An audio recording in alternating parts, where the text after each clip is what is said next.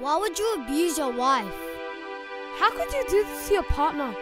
How could you feel okay when you do this? How could you take your loved one's life?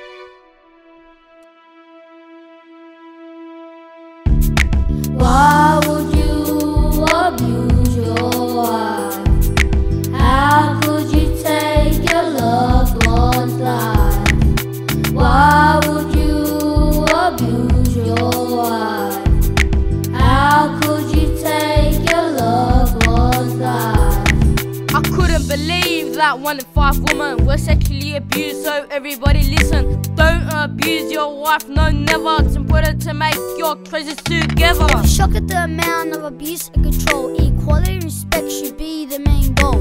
Women shouldn't feel so scared and lonely. I wanna be gentle and lovable only.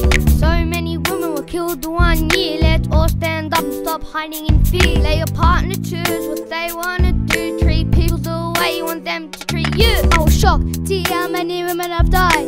Hearing this fact made me horrified. A husband should be loving and caring and never abusive, controlling or swearing. Why would you abuse your wife?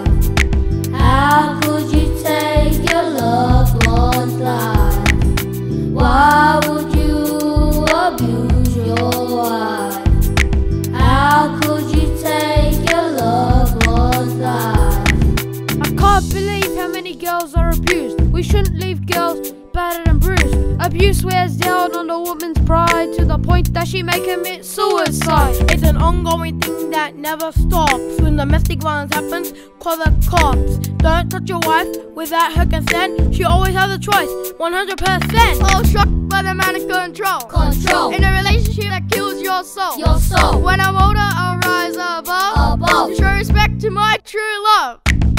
Why would you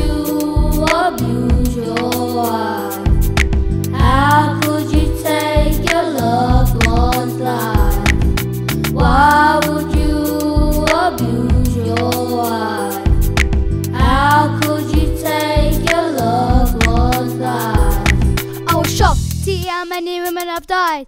Hearing this fact made me horrified. I couldn't believe that one in five women were sexually abused, so everybody listen. A husband should be loving and caring and never abusive, controlling or swearing. Don't abuse your wife, No, no, never. never. It's important to make your choices together. Why would you abuse your wife?